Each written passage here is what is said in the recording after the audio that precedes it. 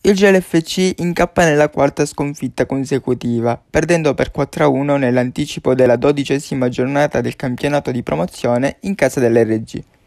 Infortuni e squalifiche hanno influito sulla prestazione dei gialloneri, col tecnico Evola che ha potuto contare su una rosa ristretta, schierando Asia nell'inedito ruolo di terzino e affidandosi in attacco a Gradito, Navanzino e Ferlito.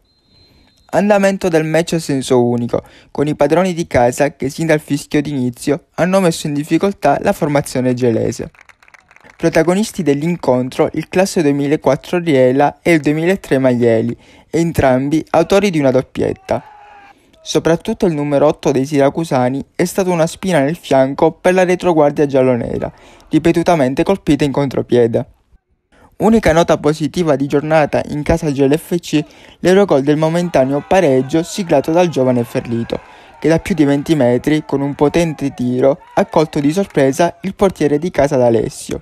L'attaccante, qualche minuto dopo la gioia del primo gol stagionale, è stato vittima di un duro scontro di gioco.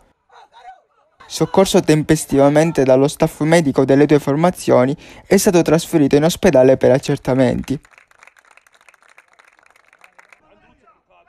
Domenica, ultimo impegno per quel che riguarda il girone di andata. GLFC che sarà impegnato al Vincenzo Presti contro il Comiso.